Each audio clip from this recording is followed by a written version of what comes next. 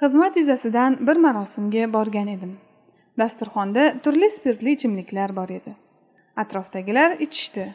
Albatta bu menga yoqmadi lekin chiqib ketishning iloji yo'q edi. Shunday vaziyatda nima qilish kerak? Albatta spirtli mast qiluvchi ichimliklar mo'min musulmon insonlarga alloh taolo tarafidan harom qilingan. Avval ham aytib o'tganimizdek harom qilinganligi uni o'ta zararli bo'lganligidandir. Shuning uchun mo'min musulmon inson bundoq narsalarni umuman yaqin yo'lamasliklari kerak.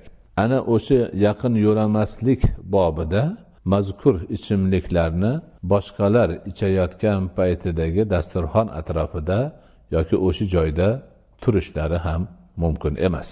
Savol egasini aytganlaridek xizmat yuzasidan yoki qandaydir boshqa bir yuzadan marosimga boradigan odam boradigan joyini qandoq ekanligini o'rganishi bilishi lozim.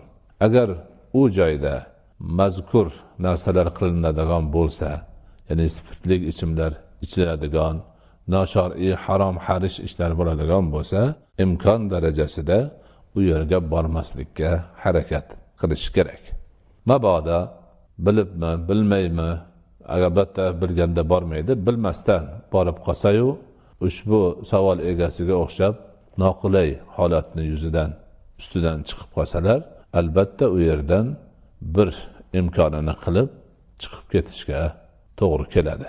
Mana shu shariatni amri u yerda o'tirish ularni gunoh ish qilayotganlarini o'zlari uchun oilalari uchun jamiyatlari uchun harom bo'lgan zararli bir ichimliklarni ichayotganlariga guvoh bo'lib ularni ishiga rozi bo'lib birga o'tirish shariat bo'yicha durust bo'lmaydi. Balki unday majlisni tark etish kerak u yerdan chiqishni harakatida bo'lish kerak.